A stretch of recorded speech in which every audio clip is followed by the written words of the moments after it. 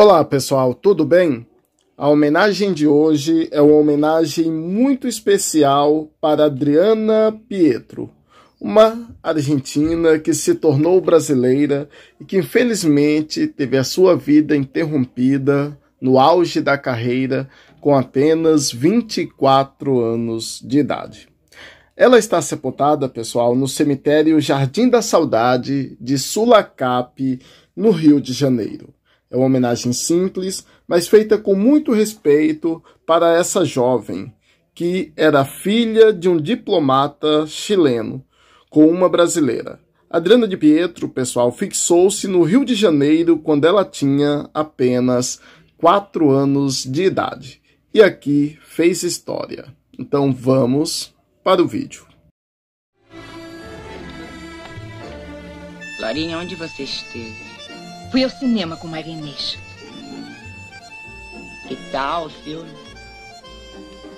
Água com açúcar. Aquele sujeito de São Paulo que saiu com você me telefonou. Quê? José Roberto.